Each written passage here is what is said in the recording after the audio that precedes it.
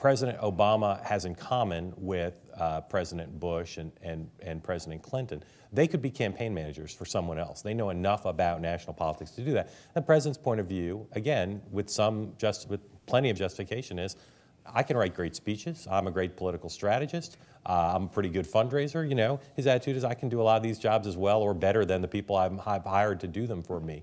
I think that has that confidence has played an obvious role in his getting elected president twice, but it also has led to a kind of insularity and a kind of, uh, on occasion, failure to uh, consult outside his tight circle. He not only has confidence in himself, but he has confidence in, the, in that close circle and a, and a, and a real dis, uh, lack of interest in, in going wider than that. And I think you see in the book uh, a, a, president able to get reelected under extraordinarily adverse circumstances, given the state of the economy, uh, in part because when he focuses on something, he does really well.